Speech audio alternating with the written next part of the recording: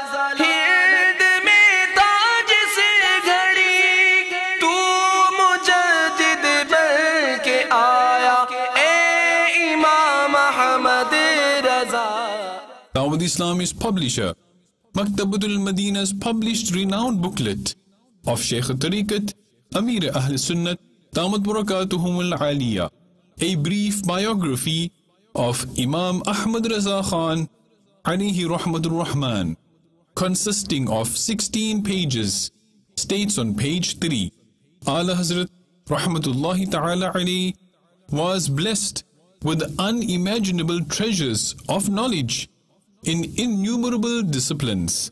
He made his contribution to about 50 disciplines and wrote valuable books.